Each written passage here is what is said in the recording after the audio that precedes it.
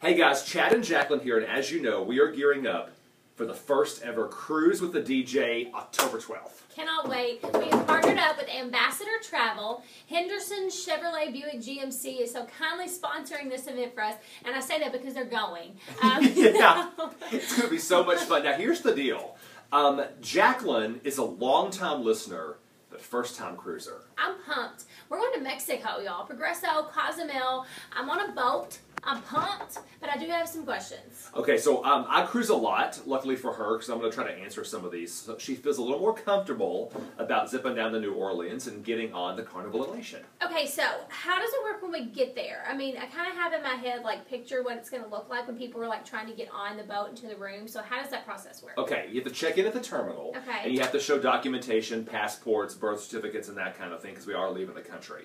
Uh, but when you get to the terminal, a porter is going to take your luggage, and they'll ensure that your luggage gets on the boat so you don't have to carry it on.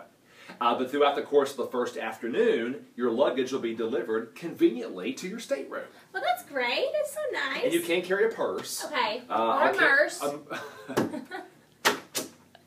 I carry a merce, and I don't want to hear any lip about it, okay? My whole life's in that merce. it's bigger than my real purse. Call it a man bag! it's a purse. Um, so I can put like my bathing suit in there, like some flippy floppies and some Okay. cash. Yes, yes, and yes. this one, no matter where we go, no matter what time of the year it is, always packs bathing suits. It's ridiculous. We've been in Memphis in January, and this one packs two bathing suits as if she's going to go swimming somewhere in January. What if I have a hot tub party invitation and I need an outfit? Or you go down to the fountain at the Peabody and swim with the ducks. I wouldn't count it out. Okay, so that's that's taken care of. Okay, let's talk about how big the boat is. Huge. Like massively huge. Massive. Okay, so the Carnival Elation can carry, I think it's just under 2,100 passengers, and there'll be another 1,000 crew members. so like Carson asked, like, "Mommy, is the boat bigger than my school?" Uh, it's huge. Yes, and yes, it is. Um, I think the Carnival Elation, and I could be wrong, but I think it's 12 decks high. Um, it's huge. It's enormous. I cannot wait. Okay, well that's good, so I can tell her that. And don't worry, because if you're a first time cruiser on day one of the cruise, for our group, I will be giving a tour of the ship. And we're supposed to be, we're supposed to feel comfortable about that, y'all. I'll do some research before we get there, and I'll try to have some maps or something. Don't even. Okay, so let's move on. You know I get car sick. You know I get car sick. Yes. Am I gonna get sick on this boat? Do you like how I soccer bomb arm? Yeah, Brett? Brett was just gonna just bust up in here. Like we hadn't had four takes already. Soccer mom arm. Yeah. Hello. Stop in the name of love. Stay What? right there though, in case the phone rings. Yeah. Um. Okay. What were we talking about? I don't know. Brett, I swan you to goodness. Um. Let's Tours talk and maps. Huh? Tours and maps. The map. That's right. So let's talk about uh, continuing in the boat.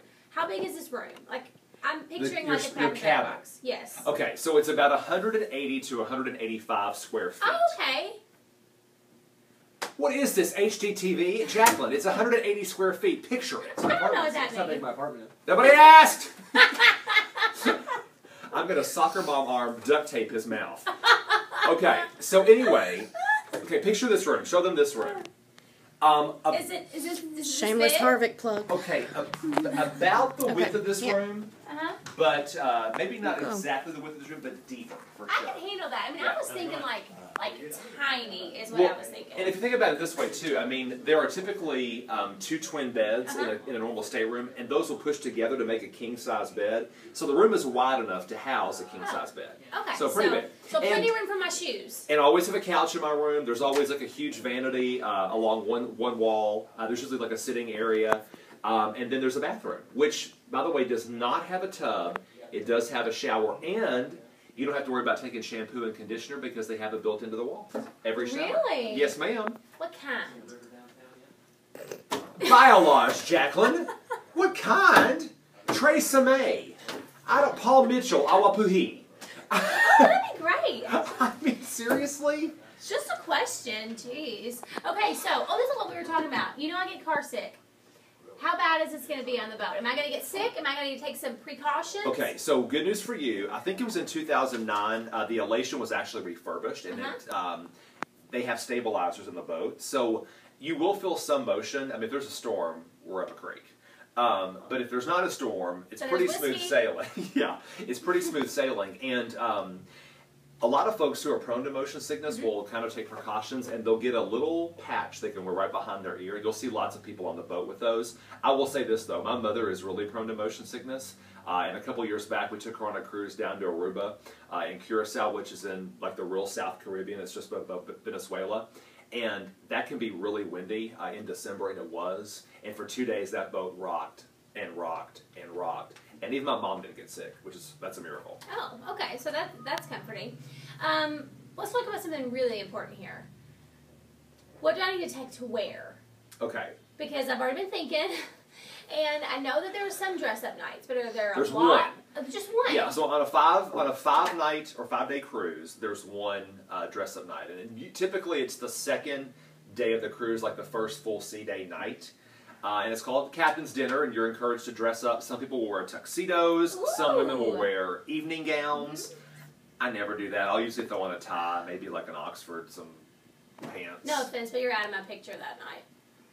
Yeah, so you can dress up on one night, but the rest of the time, like dining, is casual. I mean, you can wear shorts and a nice shirt and Call it a day. flip flops. Yeah, Okay, so speaking of food, how readily available is the food? 24 hours a day.